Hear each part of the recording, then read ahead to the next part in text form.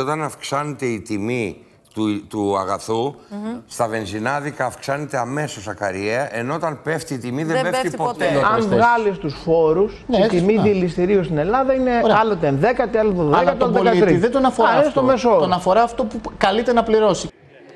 Με έναν τρόπο αντιμετωπίζεται η αύξηση στα καύσιμα. να το ξαναπώ πάλι, να μου- πάλι πες θα το. με- θα Και με με κατακαιρουργήσουν οικονομία. πάλι. Πρέπει να βγει. Πάλι θα με κατακαιρουργήσουν.